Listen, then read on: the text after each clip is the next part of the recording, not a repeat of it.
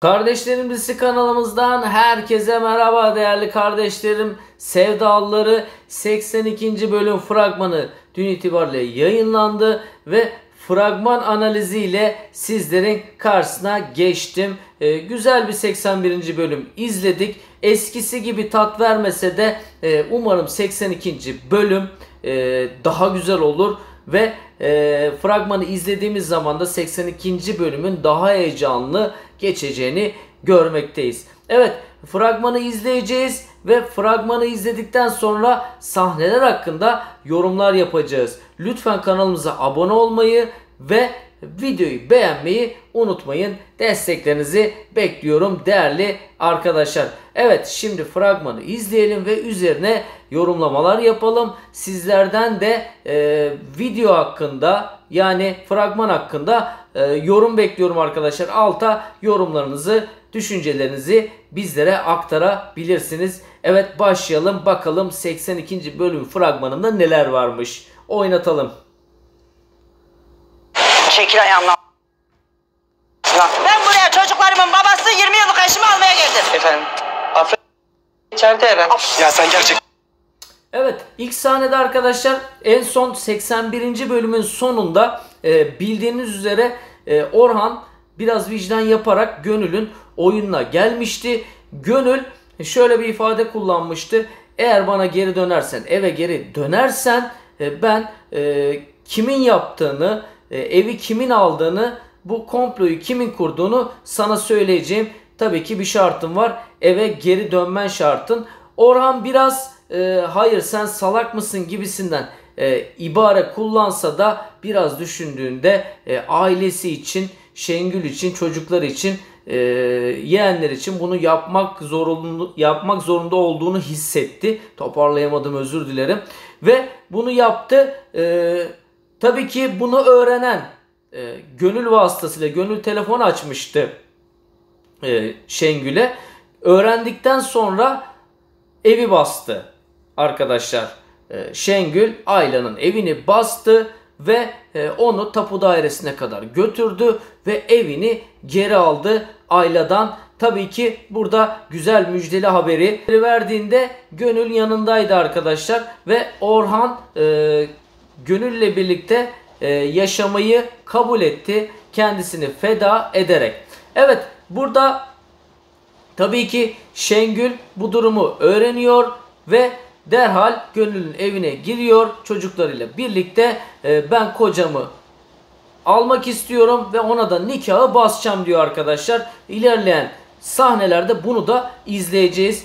Devam edelim bakalım Berk annesine neler demiş. Ben bunun analizini daha önce de yapmıştım, söylemiştim. Aynı şekilde gerçekleşiyor arkadaşlar. sen Aybike'nin ailesiyle kafayı bozmuşsun. Lan gel göster gel göster. Tamam biz sat. Evet, Aybike'nin ailesiyle kafayı bozmuşsun sen dedi. Biliyorsunuz ki Ayla Berk'in annesi ve bu yüzden de e, Aybike ile Berk'in samimi olmasını istemiyor ve bu yüzden de e, Şengül Eren ailesine yani Eren ailesine biraz kin gidiyor arkadaşlar. Bunun üzerine de oyunlar oyun, oynanıyor. Berk de annesini kınıyor ve e, eleştiriyor ve daha sonra Berk evi bu sahnede terk etmiş oldu değerli arkadaşlar. Oynatalım bakalım Süsen sahnesinde neler varmış. Sevgili falan değiliz. Ne seninle daha fazla konuşmak Evet. Bu sahnede ise e, Süsen Sarp ile beraber olmadığını Ömer'e aktarıyor arkadaşlar. Burada neler olacak? Şöyle söyleyeyim, şöyle özetleyeyim sizlere. Daha önceki analizlerimde de bahsettiğim gibi Ömer ile Süsen bir yakınlaşma gerçekleştirecek. Ve daha sonra Sarp Süsen'i çok sevdiği için biliyorsunuz ki Sarp Süsen'i sevmeye başladı. E, tabii ki ortada bir Leyla'nın ölüm konusu var. Süsen'in tanık olduğu ve Ömer bunu bilmiyor ve Sarp bunu kullanacak arkadaşlar. Ne kadar yakınlaşırsa Ömer ile Süsen Sarp buna engel olacak ve bu planı şantaj planını devreye sokarak Süsen'i Ömer'den uzak tutacak arkadaşlar. Bakalım devamında ne var görüyorsunuz. Ben... yüzünü görmek istiyorum. Berk seni parçalarım. Basacağım nikahı bu adama. Boşanma talebiniz. Ben karımı çok seviyorum hakim bey. Ne? Efendim? Lütfen bizi ayırmayın. Evleniyor musun? Evet gördüğünüz sahnede Akif Atakul'un Süsen'le boşanma sahnesi var. Daha önceki fragmanda da belirttiğim gibi bir boşanma sahnesi gerçekleşecek demiştik. Ve o sahnede Akif Atakul Hakim Bey'e e, ben karımı çok seviyorum boşanmak istemiyorum dedi. Ve büyük ihtimalle de bu sahneden sonra hakim bunu göz önünde bulundurarak e, Suzan ile Akif Atakul boşanmayacaklar ve e, ertelemeler olacak. Böyle durumlarda e, hakimler genelde zaman tanırlar ve erteleme söz konusu olacak. Bakalım e, bu sahnede neler var. Siz ben tam anlamadım. Bana da öyle gibi geldi. Aşıksan vursa da şoförsen bas gaza. Yılların ustasıyım, laflarının hastasıyım. İlk dansları için bir şarkı Evet bu sahnede ise değerli dostlarım Eren ailesi kendisine iş kurmak amacıyla e, bütün borçlarını ödedi. Evlerini geri aldılar ve bir araba alacaklar ve iş yapmak isteyecekler. E, Şengül ve Orhan birlikte e, bir yola koyulacaklar. Ailecek para kazanmak ve e, kendilerini idame ettirmek için. Evet bu sahnede bakalım ne varmış. söyleyelim diyorum. Yapacağız sana bir düğün. Ay Nebahat Hanım herkesi düşünmüş. Süsen, ben yüzünü görmeden de güldüğünü anlayabiliyorum. Evet değerli dostlarım. Nebahat Hanım damatlıklar e, olsun, e, takım elbiseler olsun Eren ailesine gönderiyor. Bunu göndermesinin sebebi ise Orhan ve Şengül arkadaşlar evleniyorlar. E, size şöyle özetleyebilirim dur- durumu. Orhan ve Şengül evlenecekler. Afra ve e, Gönül diziye veda edecek ama nasıl veda edecek konusunda herhangi bir benim de bir fikrim yok. E, bu evlilikten sonra Almanya'ya mı dönerler veya düğün sırasında nikah sırasında bir entrika mı olur?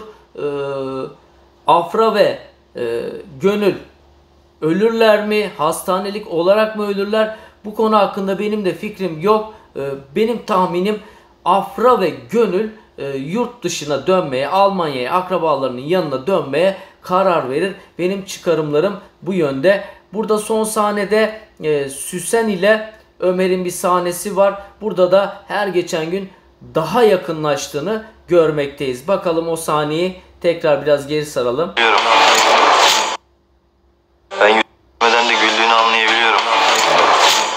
Sahneyle de e, fragmanımız son eriyor değerli arkadaşlar. Arkadaşlar buradan da senariste bir eleştiri yapmak istiyorum. E, heyecanlı sahnelerin daha bol olduğu, e, daha doğrusu nasıl bitiyor dizi?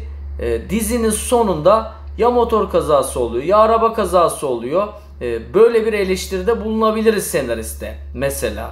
Örnek veriyorum heyecanlı sahnelerin çok kısa olduğu ama e, diğer sahnelerin e, klasik okuldan eve dönüyorlar, evden e, okula gidiyorlar. Ne bileyim e, çok klasik sahneler oluyor.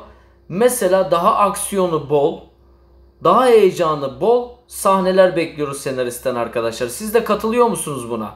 Yani şöyle baktığım zaman 2 dakika heyecanlı sahne oluyor. O ona bir şey söylüyor. E, Daha sonra kısır döngüye giriyor. Dizi içerisinde 2 saatlik bir dizi. Ve daha sonra da e, git gellerle geçiyor yani daha çok. Heyecanlı bol. Acaba e, bu sahneden sonra ne olacak? Bir sonraki sahnede ne olacak? O onu yakalayacak mı? O onu bulacak mı? Gibi sahneler bekliyoruz arkadaşlar. Siz de katılıyor musunuz buna? Yani biz 2 dakikalık heyecanlı sahne izliyoruz. Daha sonrası klasik sahneler. O oraya gitti, bu buraya gitti. Sevgilim nasılsın? Senariste eleştirim bu yönde arkadaşlar. Umarım daha heyecanlı sahnelerin olduğu bölümler izleriz. Ee, değerli kardeşlerim, sevdalıları kendinize çok iyi bakın. Bir sonraki analiz videomuzda görüşmek üzere. Hoşçakalın.